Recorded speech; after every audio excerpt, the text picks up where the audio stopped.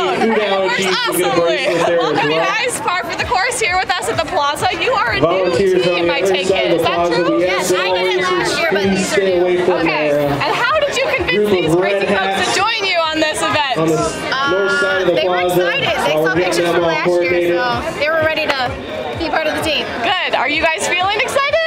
Yes. Absolutely. We're excited. team saying they're a little freaked out by your golf clubs. Are you um, do you have Oh, intentions they were in the of car. They were just. We're good with Psychological piece that we're going. can trying to freak them out a little bit. Well, congratulations, it's working. Are there any teams that you have an eye out this morning on that you, you know, you want to make sure you beat or that? I would say the team that won last year. Yes, the Bold and the Beautiful. Yeah, the orange team. Keep an eye on